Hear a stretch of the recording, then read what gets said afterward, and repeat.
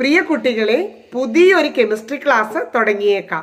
എട്ടാം ക്ലാസ്സിലെ കെമിസ്ട്രി ആറാമത്തെ പാഠം ജലമാണ് നമ്മൾ ഈ വീഡിയോ ക്ലാസ്സിൽ ചർച്ച ചെയ്യുന്നത്. ഇവിടെ അധ്യായം പതിനേഴ് എന്നൊക്കെ കൊടുത്തേക്കുന്നെങ്കിലും കെമിസ്ട്രിയെ സംബന്ധിച്ച ആറാണ്. പേജ് നമ്പർ ഇരുന്നൂറ്റി നാൽപ്പത്തി ആറിലാണ് ഇത് തുടങ്ങുന്നത്. ജലം നമുക്ക് നല്ല സുപരിചിതമാണ് എങ്കിലും ജലത്തെ സംബന്ധിച്ച് എട്ടാം ക്ലാസ്സിൽ കയറിയപ്പോൾ നമ്മൾ കുറച്ചുകൂടി ശാസ്ത്രീയമായിട്ട് പഠിക്കുന്നു. ആ ശാസ്ത്രീയ അറിവുകൾ അടിപൊളിയായിട്ട് പരീക്ഷയ്ക്ക് എഴുതി ഫുൾ മാർക്ക് വാങ്ങുന്നു. ഇത് മലയാളം മീഡിയം പുസ്തകമൊക്കെ കാണിച്ചുകൊണ്ട് ടീച്ചർ പഠിപ്പിക്കുന്നതാണ്. ഇംഗ്ലീഷ് മീഡിയത്തിലെ കുട്ടിയാണെങ്കിൽ ടീച്ചർ പ്ലേലിസ്റ്റിൽ അതൊന്ന് നോക്കുക. ടീച്ചർ നൽകിയിരിക്കുന്ന ക്ലാസ് കിട്ടും.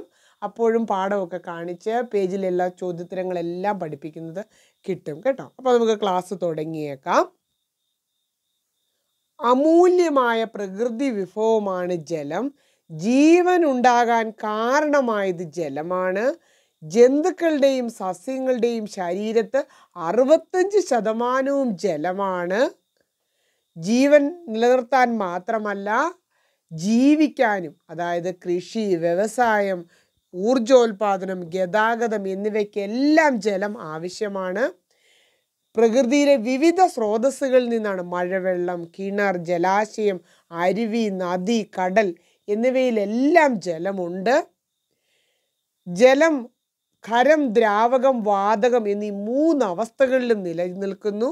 ഇങ്ങനെ വിവിധ സവിശേഷതകൾ ജലത്തെക്കുറിച്ച് നമുക്ക് അറിയാവുന്നതാണ്. ജലത്തിന്റെ തിളനില തുടങ്ങിയ കാര്യങ്ങളാണ് നമ്മൾ അടുത്ത പേജിൽ പഠിക്കുന്നത്. ജലം ഒരു പാത്രത്തിലെടുത്ത് നന്നായിട്ട് തിളപ്പിച്ച് തിളപ്പിക്കാൻ അപ്പോൾ ഒരു തെർമോമീറ്ററും കൂടി അതിൽ ഈ ചിത്രത്തിലൊക്കെ കാണുന്ന പോലെ വെക്കുകയാണെങ്കിൽ നന്നായിട്ട് തിളച്ചു തുടങ്ങുന്ന ഒരു സമയത്ത് താപനില നമ്മൾ നോക്കുകയാണെങ്കിൽ അത് സ്ഥിരമായിട്ട് നിൽക്കുന്നത് കാണാം. ആദ്യം ചൂടാക്കുന്നതിനനുസരിച്ച് താപനില കൂടി കൂടി നൂറ് ഡിഗ്രി എത്തിയ സ്ഥിരമായിട്ട് നിൽക്കും. ആ താപനിലയെ ജലത്തിന്റെ തിളനില എന്നാണ് പറയുന്നത്. അത് നൂറ് ഡിഗ്രിയാണ്. നൂറ് ഡിഗ്രി നന്നായിട്ട് തിളച്ചുകൊണ്ടിരിക്കുമ്പോൾ നമ്മൾ വീണ്ടും വിറക് കത്തിച്ചാണ് വിറക് കത്തിച്ച് ഗ്യാസ് ആണെങ്കിൽ ഗ്യാസ് വീണ്ടും താപം നൽകിയാലും ആ നൂറേന്ന് താപനില ഉയരുന്നില്ല കാരണമെന്ത്? ഉയരുകയില്ല കാരണമെന്ത്? അതിന് കാരണം ജലം തിളച്ചത് മുതൽ അതിന് കൊടുക്കുന്ന താപം മുഴുവൻ ഉപയോഗിക്കുന്നത് അവസ്ഥാമാറ്റത്തിന് വേണ്ടിയാണ്. പരീക്ഷയ്ക്ക് ചോദിച്ചാൽ എഴുതിക്കോണം. അവസ്ഥാമാറ്റത്തിന് വേണ്ടിയാണ് അതുകൊണ്ടാണ് താപനില ഉയരാത്തത്. അപ്പോൾ നമ്മൾ കൊടുത്ത താപമെല്ലാം നീരാവിയിലായിരിക്കും അടങ്ങിയിരിക്കുന്നത്. അതുകൊണ്ട് ചൂടുവെള്ളം കൊണ്ടുള്ള പൊള്ളലിനേക്കാൾ ഗുരുതരമായിരിക്കും നീരാവി കൊണ്ടുള്ള പൊള്ളൽ. കാരണം നമ്മൾ കൊടുത്ത അധിക താപം മുഴുവൻ ഈ നീരാവിയിലാണ് അപ്പം നീര നമ്മൾ തിളച്ചുകൊണ്ടിരിക്കുന്ന ഒരു പാചകപാത്രത്തിന്റെ അടപ്പ് തുറന്ന് പാ എന്തോരുമായി വെന്തോ എന്ന് നോക്കാനായിട്ട് മുഖമൊക്കെ ഇട്ട് നോക്കിയാൽ മുഖത്തിന്റെ സൗന്ദര്യം എല്ലാം പോയെന്നൊക്കെ ഇരിക്കും. കാരണം നീരാവി കൊണ്ടുള്ള പൊള്ളൽ ഗുരുതരമാണ്. തിളച്ച വെള്ളത്തും കൊണ്ടുള്ള പൊള്ളലിനേക്കാൾ ഗുരുതരമാണ്. കാരണം നമ്മൾ കൊടുത്ത അധിക താപം മുഴുവൻ നീരാവിയിലാണ് അടങ്ങിയിരിക്കുക. ഇനി നമ്മൾ ചിന്തിക്കുന്നത് മറ്റ് പദാർത്ഥങ്ങൾ ചേർത്താൽ ഈ തിളനില വർദ്ധിക്കുമോ? അതോ കുറയുമോ? അതിനുവേണ്ടി ഒരല്പം കറിയുപ്പ് ചേർത്ത് തിളപ്പിച്ച് നോക്കുക. അപ്പോൾ നൂറ് ഡിഗ്രിയിൽ കൂടുതൽ ഡിഗ്രിയിലാണ്. അപ്പോൾ കറിയുപ്പ് പോലെയുള്ള വസ്തുക്കൾ ലയിച്ചു ചേർന്ന ജലത്തിന്റെ തിളനില വർദ്ധിക്കുന്നു. അതുപോലെ തന്നെ പ്രഷർ കുക്കറിൽ തിളനില എത്രയാണ്? പ്രഷർ കുക്കറിൽ ജലം തിളയ്ക്കുന്നത് നൂറ്റി ഇരുപത് ഡിഗ്രിയിലാണ്. കാരണം കുക്കറിനകത്ത് നല്ല പ്രഷറാണ്. പ്രഷർ എന്നുള്ളതിന്റെ മലയാളം എന്താണ്? മർദ്ദമാണ്. പ്രഷർ കുക്കറിനുള്ളിൽ നല്ല മർദ്ദമാണ്. അതുകൊണ്ട് ജലം തിളയ്ക്കുന്നത് നൂറ്റി ഇരുപത് ഡിഗ്രിയിലാണ്. പരീക്ഷയ്ക്ക് ചോദിക്കാൻ സാധ്യതയുണ്ട്. അങ്ങനെ നൂറ്റി ഇരുപത് ഡിഗ്രിയിൽ വെള്ളം തിളയ്ക്കുന്നത് കൊണ്ടാണ് അതിനകത്ത് കിടക്കുന്ന കടലയൊക്കെ പെട്ടെന്ന് വേകുന്നത്. സാധാരണ വെള്ളം തിളയ്ക്കുന്നത് നൂറ് ഡിഗ്രിയിലാണ് കുക്കറിനകത്ത് നൂറ്റി ഇരുപത് ഡിഗ്രിയിലാണ്. ഇനി ഉയർന്ന പർവത പ്രദേശങ്ങളിൽ വായു കുറവാണ്. അവിടെ അതുകൊണ്ട് മർദ്ദം അഥവാ പ്രഷർ കുറവാണ്. അതുകൊണ്ട് ജലം തിളയ്ക്കുന്നത് നൂറ് ഡിഗ്രിയിൽ താഴെയാണ്. അപ്പോൾ പ്രഷർ കൂടിയാൽ തിളനില കൂടും പ്രഷർ കുറഞ്ഞാൽ മർദ്ദം കൂടിയാൽ തിളനില വർദ്ധിക്കുന്നു മർദ്ദം കുറഞ്ഞാൽ തിളനിലയും കുറയുന്നു. ഇനി നമുക്കപ്പോൾ ജലത്തിന്റെ കാര്യം ഒന്നുകൂടി ഒന്ന് വിശദമായിട്ട് ആലോചിക്കാം.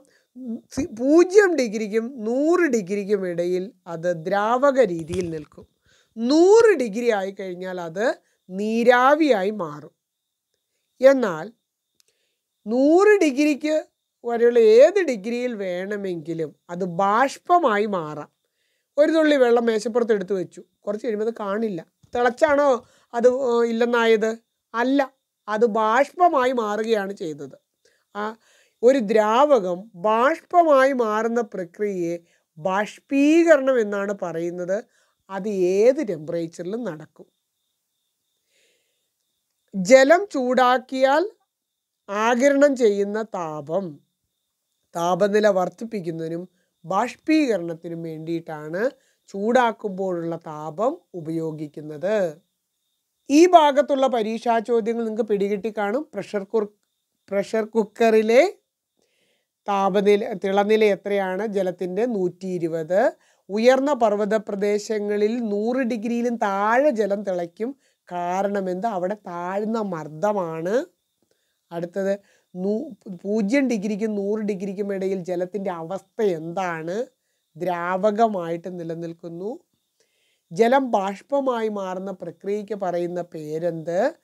ബാഷ്പീകരണം എന്നാണ് പറയുന്നത്. നമുക്ക് അടുത്ത പേജ് എടുക്കാം. പേജ് നമ്പർ ഇരുന്നൂറ്റി നാൽപ്പത്തി എട്ടിൽ ജലത്തിന്റെ ഒരു പ്രധാന സ്വഭാവം പറഞ്ഞിരിക്കുകയാണ്. ആ സ്വഭാവത്തിന്റെ പേര് താപദാരിത എന്നാണ്. താപദാരിത എന്തെന്ന് മനസ്സിലാക്കാൻ വേണ്ടി നമുക്കിവിടെ ഒരു പരീക്ഷണം പറഞ്ഞിട്ടുണ്ട്. കുറച്ച് ജലവും വെളിച്ചെണ്ണയും എടുത്ത് ചൂടാക്കുക. ഇവിടെ വാട്ടർ ബാത്തിൽ ചൂടാക്കുക എന്നൊക്കെ പറഞ്ഞിട്ടുണ്ട്. എന്ന് പറഞ്ഞാൽ വെള്ളത്തിൽ വെച്ച് ചൂടാക്കുക. എന്നിട്ട് ജലത്തിന്റെയും വെളിച്ചെണ്ണയുടെയും താപനില തെർമോമീറ്റർ ഉപയോഗിച്ച് നോക്കിക്കൊണ്ടേയിരിക്കുക. ഏതിന്റെ താപനിലയാണ് കൂ പെട്ടെന്ന് ഉയരുന്നത്? ജലത്തിന്റെ താപനില പതുക്കെയാണ് ഉയരുകയുള്ളൂ. വെളിച്ചെണ്ണയുടെ താപനില വളരെ പെട്ടെന്ന് ഉയരും. അതായത് വെളിച്ചെണ്ണയ്ക്ക് എണ്ണയ്ക്ക് താപം താങ്ങാനുള്ള കഴിവില്ല. ജലത്തിന് താപം താങ്ങാനുള്ള കഴിവുണ്ട്. മറ്റ് പദാർത്ഥങ്ങളെ അപേക്ഷിച്ച് താപം താങ്ങാനുള്ള കഴിവിനെയാണ് താപധാരിത എന്ന് പറയുന്നത്. ഈ താപധാരിത താപത്തെ പിടിച്ച് ആ പിടിച്ചു നിൽക്കും ജലം. എണ്ണയൊക്കെ ചൂടായി അപ്പം തന്നെ പുകഞ്ഞ് കത്തുന്നത് നിങ്ങൾ കണ്ടിട്ടുള്ളതല്ലേ? നമ്മൾ ശ്രദ്ധിച്ചില്ലെങ്കിൽ അടുപ്പത്ത് വെച്ചിരിക്കുന്ന എണ്ണ പുകഞ്ഞ് മുറിക്കകത്തൊക്കെ പുക പൂകുമ്പോൾ ഉണ്ടാകും അപ്പോൾ ജലത്തിന്റെ താപധാരിത ജലമാണ് അങ്ങനെ പതുക്കെ അങ്ങ് ചൂടായി വരികയേ ഉള്ളൂ. അത് ആ ഒരു ഗുണം പ്രയോജനപ്പെടുത്തുന്ന സന്ദർഭം ഏതെന്ന് പരീക്ഷയ്ക്ക് ചോദിക്കും. ഇവിടെ മൂന്നും ഒന്ന് നാല് സന്ദർഭം പറഞ്ഞിട്ടുണ്ട്. വാഹനങ്ങളിലെ താപമൊക്കെ നിയന്ത്രിക്കാൻ വേണ്ടി റേഡിയേറ്ററിൽ ജലം ഉപയോഗിക്കുന്നു.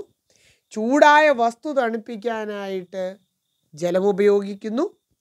ഭൂമിയുടെ മൂന്നിൽ രണ്ട് ഭാഗവും ജലമായതുകൊണ്ട് ഭൂമിയുടെ താപനില നല്ല നിയന്ത്രിച്ച് നിൽക്കുന്നു.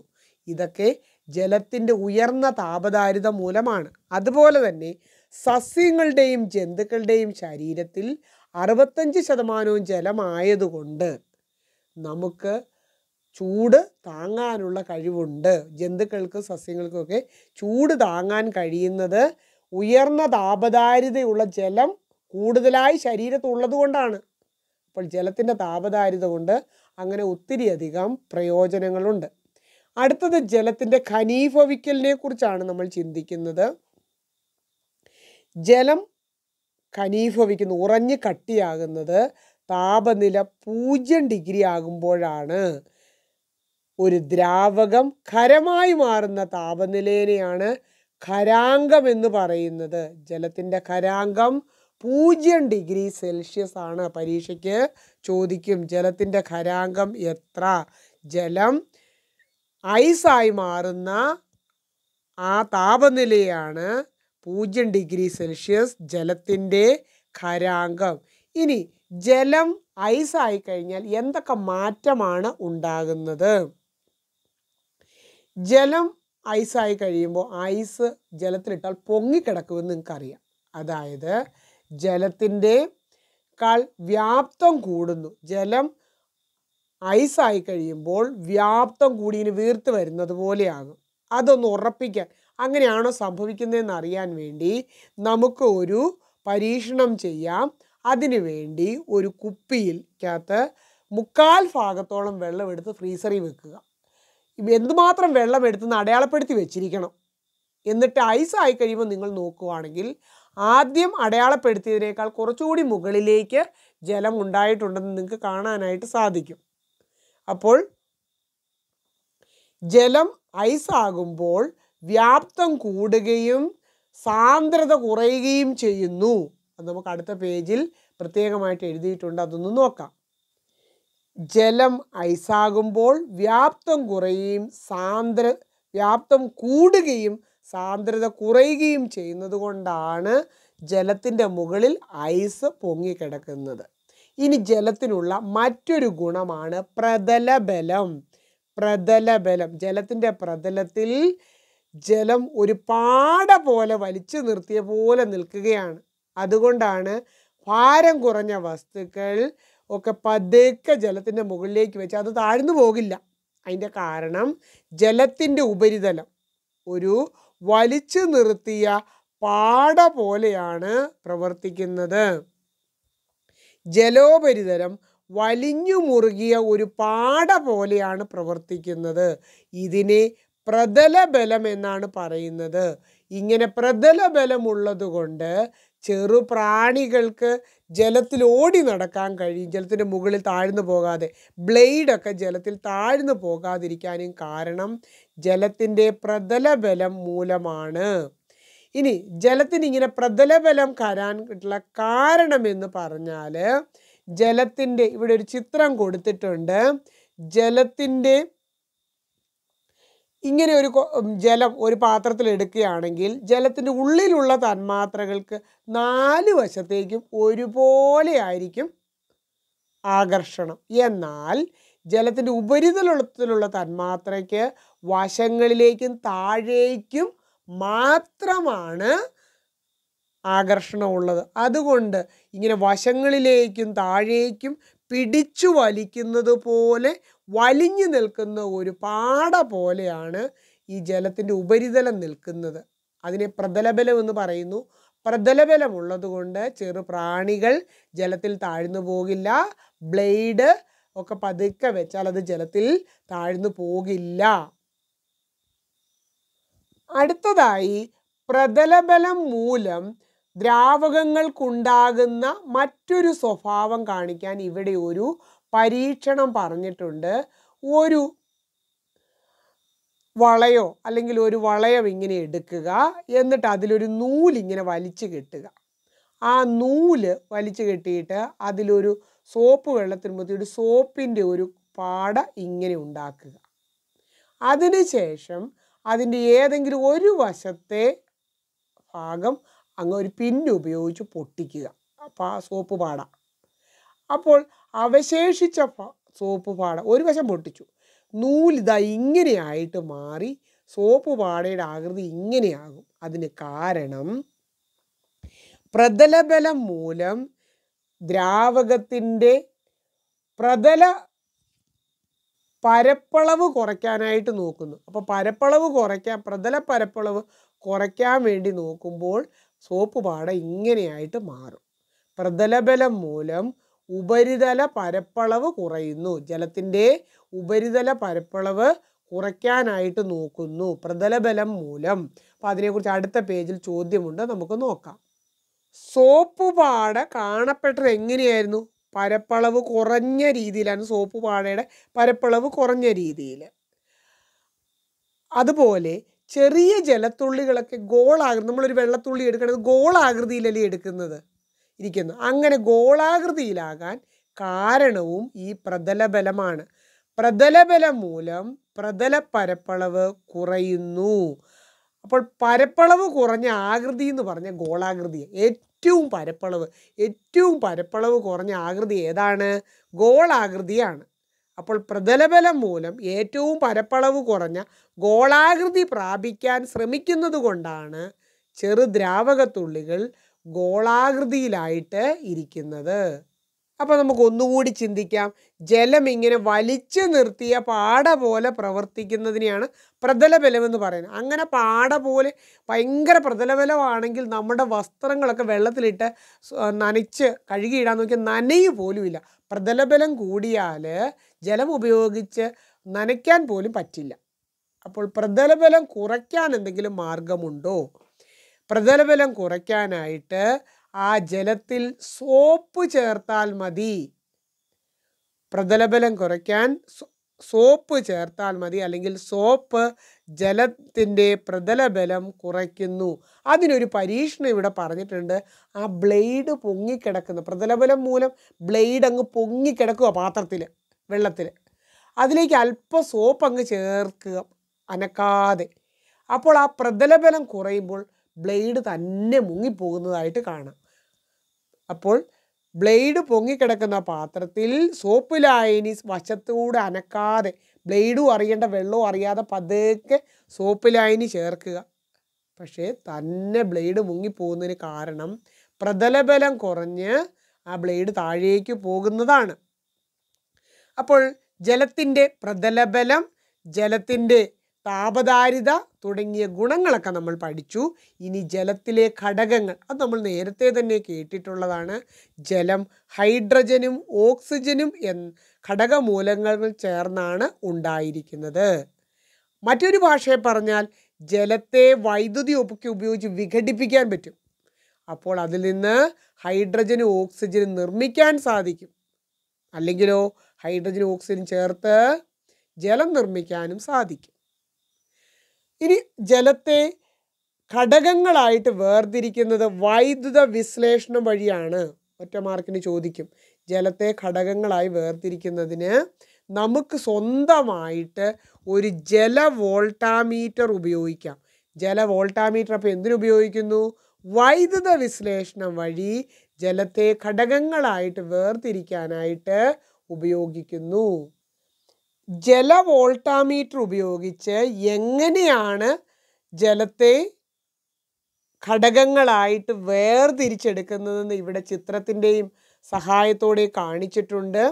ഒരു തുള്ളി ആസിഡ് ചേർത്ത ജലത്തിലൂടെ ബാറ്ററി ഉപയോഗിച്ച് വൈദ്യുതി കടത്തിവിടുന്നു. ബാറ്ററി ഉപയോഗിച്ച് വൈദ്യുതി കടത്തിവിടുന്നു. അപ്പോൾ അതിൽ ഉണ്ടാകുന്ന വാതകങ്ങൾ ടെസ്റ്റ് ട്യൂബുകളിൽ ശേഖരിക്കുന്നു. അത് ഈ രീതിയിൽ സ്റ്റീൽ ആണികൾ ഘടിപ്പിച്ച് ആ സ്റ്റീൽ ആണികൾക്ക് മുകളിൽ ടെസ്റ്റ് ട്യൂബുകൾ കമഴ്ത്തി വെച്ചാണ് നമ്മൾ ശേഖരിക്കുന്നത്. ഓരോ ടെസ്റ്റ് ട്യൂബിലെയും ഉണ്ടായതുണ്ട്. ഒരു കുമിളകൾ ഉണ്ടാകുന്നുണ്ട്. ആ ഓരോ ടെസ്റ്റ് ട്യൂബിലും ഓരോ വാതകമാണ് ഉണ്ടായത്. ബാറ്ററിയുടെ നെഗറ്റീവുമായി ഘടിപ്പിച്ച ഇത് നെഗറ്റീവ്. ആയി ഘടിപ്പിച്ച ഈ ഒരു ടെസ്റ്റ് ട്യൂബിൽ ഈ ഒരു ടെസ്റ്റ് ട്യൂബിൽ അല്ലെങ്കിൽ ഈ ആണിയുടെ സമീപത്തുണ്ടായ വാതകം ഹൈഡ്രജനാണ്. ഹൈഡ്രജൻ പ്രതീകം എഴുതി. പോസിറ്റീവുമായി ഘടിപ്പിച്ച പോസിറ്റീവ് ധ്രുവുമായി ഘടിപ്പിച്ച സ്റ്റീൽ ആണിയിൽ കമഴ്ത്തി വെച്ചിരിക്കുന്ന ടെസ്റ്റ് ട്യൂബിലുണ്ടായത്. ഓക്സിജനുമാണ്.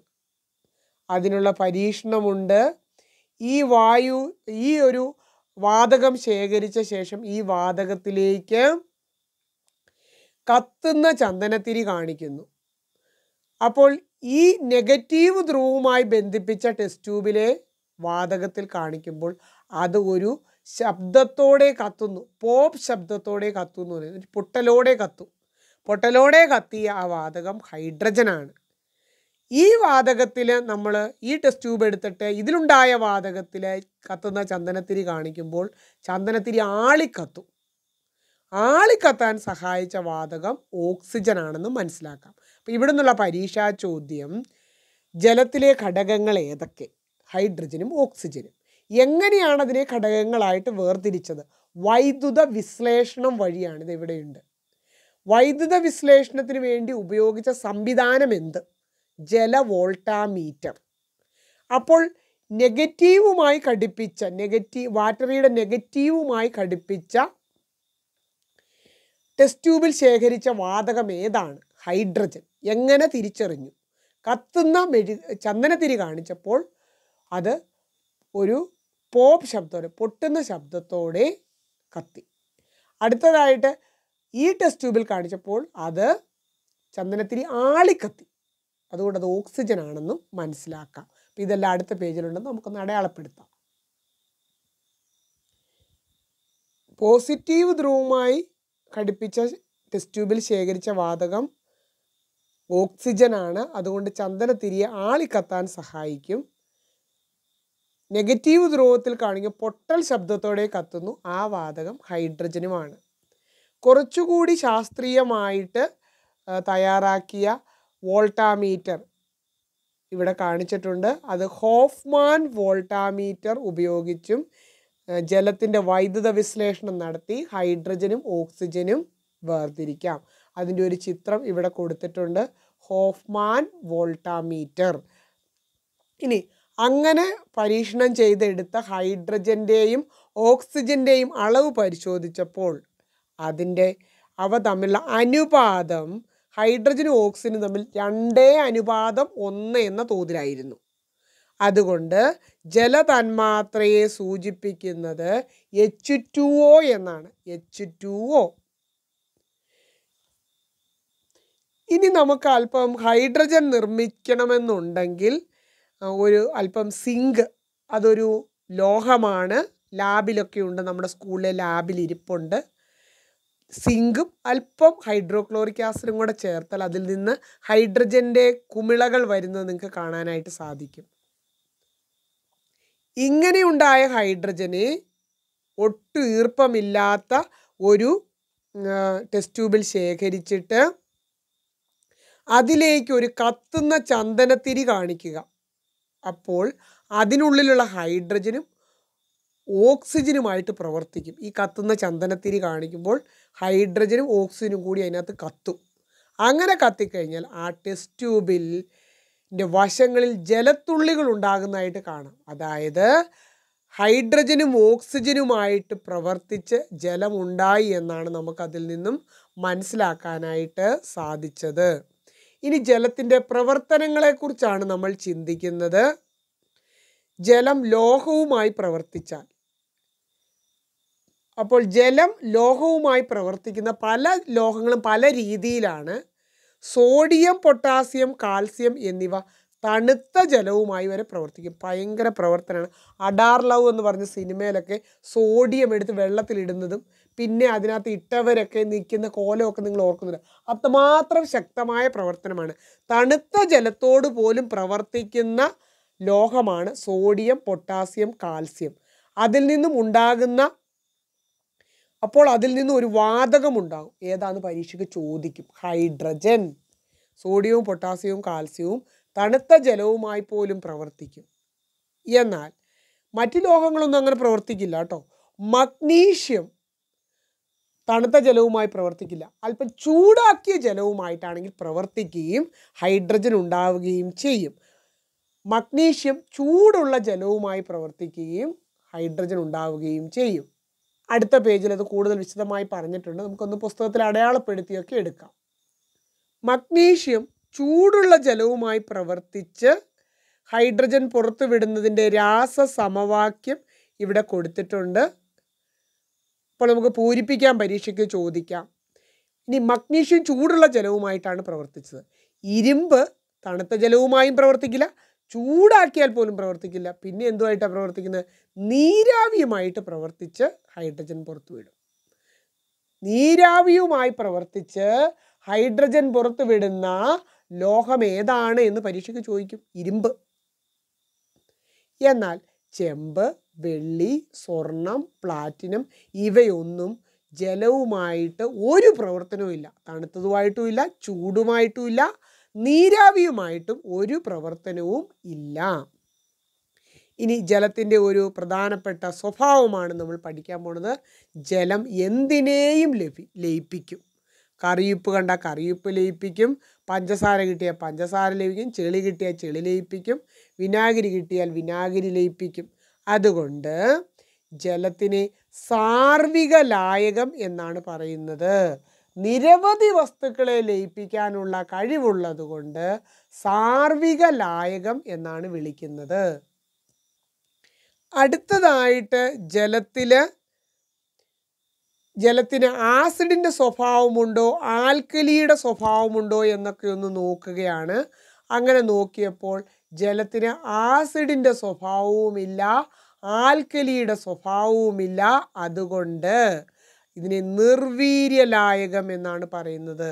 അപ്പം സാർവിക ലായകം നിർവീര്യ ലായകം എന്നൊക്കെ ഉള്ളത് ജലത്തിന്റെ പ്രത്യേക സ്വഭാവമാണ്.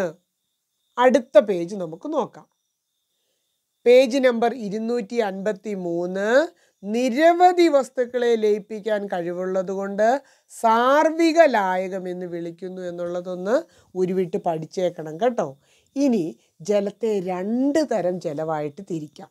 മൃദുജലവും കഠിന ജലവും മൃദുജലം എന്ന് പറഞ്ഞാൽ സോപ്പ് അങ്ങോട്ട് നന്നായിട്ട് പതയുന്നു അത്ര ലളിതമാണത് പഠിക്കാൻ. ചില നാട്ടിൽ ചെന്നാൽ വെള്ളം ഉപയോഗിച്ച് കുളിക്കാനൊക്കെ നോക്കുമ്പോൾ തുണി അലക്കാൻ നോക്കുമ്പോൾ സോപ്പ് പതയല. അതിനെ കഠിന ജലം എന്നാണ് പറയുന്നത്.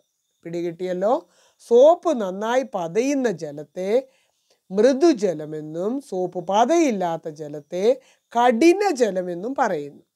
അപ്പോൾ എങ്ങനെയാണ് കഠിനജലം ഉണ്ടാകുന്നത്? സോപ്പ് പതയില്ലാത്ത കഠിനജലം എങ്ങനെയാണ് ഉണ്ടാകുന്നതെന്ന് നമുക്ക് നോക്കാം.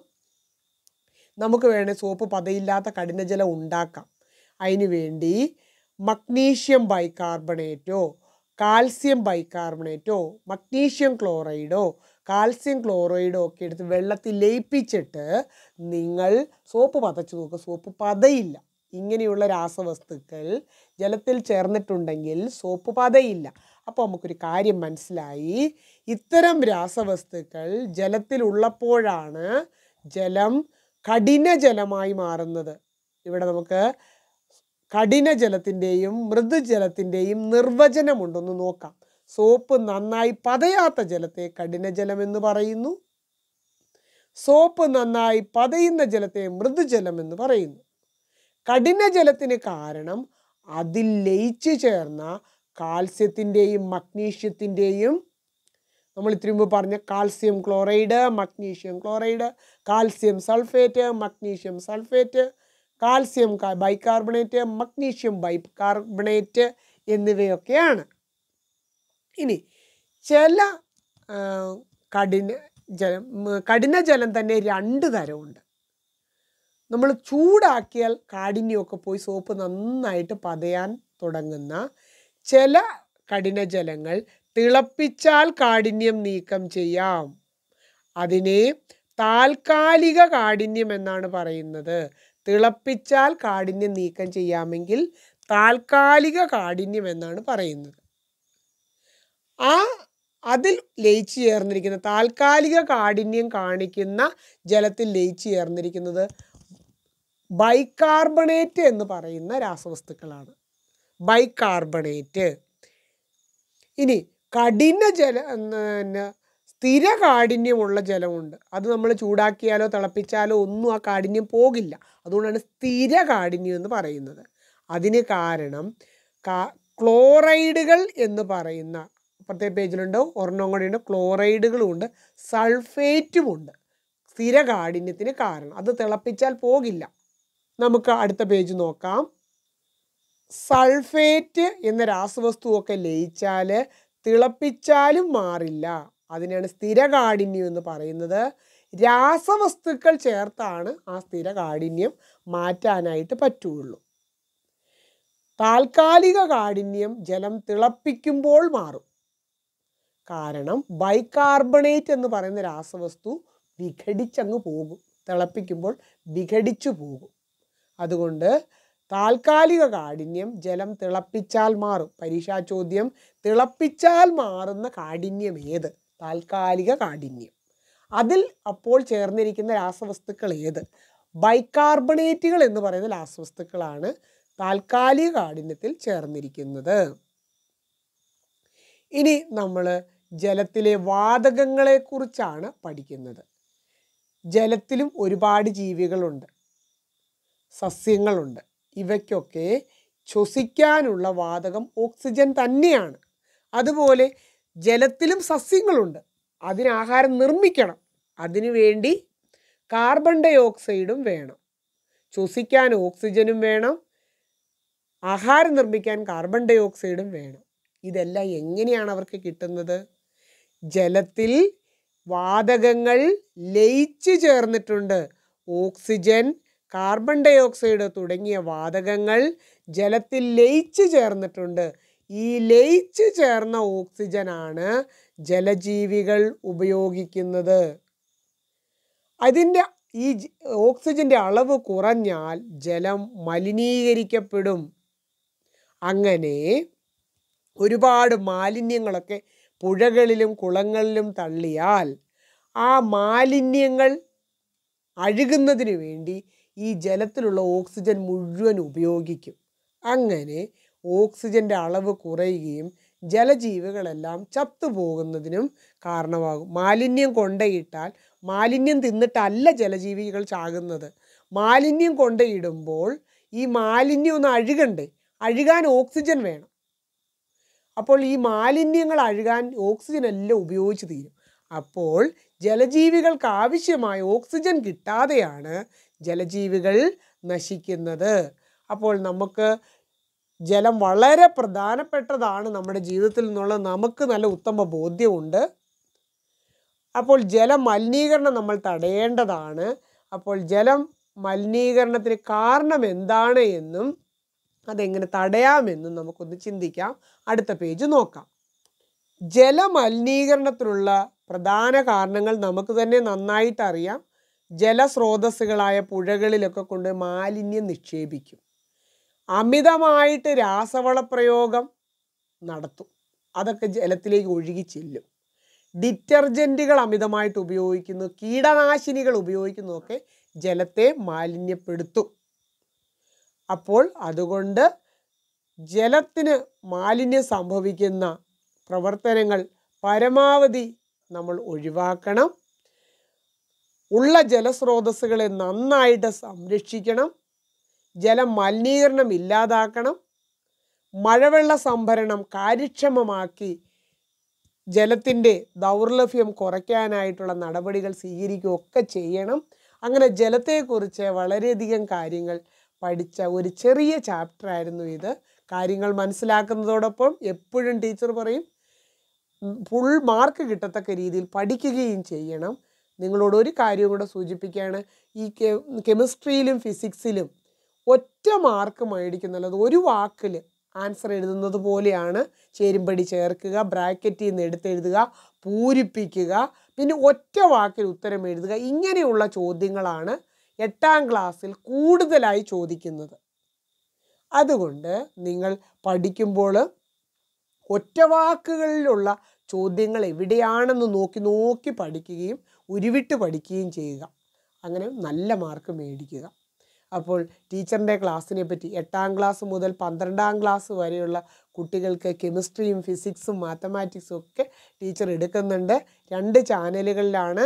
ലേൺ വിത്ത് സ്മിത ടീച്ചർ എന്ന ചാനലിലും കെമിസ്ട്രി വിത്ത് സ്മിത ടീച്ചർ എന്ന ചാനലിലും പാഠങ്ങൾ നിങ്ങളുടെ നിങ്ങൾക്ക് വേണ്ട പാഠങ്ങൾ ലഭിക്കാൻ പാഠത്തിന്റെ പേരും അതിന്റെ കൂടെ സ്മിത ടീച്ചർ എന്നുകൂടി ചേർത്ത് യൂട്യൂബിൽ സെർച്ച് ചെയ്താൽ നിങ്ങൾക്ക് പാഠങ്ങൾ ലഭിക്കും. പരീക്ഷയാകുമ്പോൾ ഉറപ്പായും ചോദിക്കുന്ന ചോദ്യങ്ങളുമൊക്കെ ആയിട്ട് ടീച്ചർ വീണ്ടും വരും. അപ്പോൾ നമുക്ക് അടുത്ത ക്ലാസ്സിൽ കാണാം. ഓക്കെ താങ്ക് ഇന്നത്തെ ക്ലാസ്സിൽ നിന്ന് പഠിച്ചോ? ക്ലാസ് ഇഷ്ടമായെങ്കിൽ നിങ്ങളുടെ കൂട്ടുകാരോടൊക്കെ ഈ ക്ലാസ്സിനെ പറ്റിയും ടീച്ചറിനെ പറ്റിയും പറയണം. ക്ലാസ്സിൽ നിന്ന് ചെറിയ ക്ലാസ്സുകളിൽ നിന്ന് നോട്ടൊക്കെ തയ്യാറാക്കി അടിപൊളിയായിട്ട് പഠിച്ചെടുക്കാം. കെമിസ്ട്രി ഫിസിക്സ് എന്നൊക്കെ പറയണം. ഇതുവരെ ചാനൽ സബ്സ്ക്രൈബ് ചെയ്തിട്ടില്ല എങ്കിൽ മറക്കാതെ സബ്സ്ക്രൈബും ചെയ്യണം കേട്ടോ.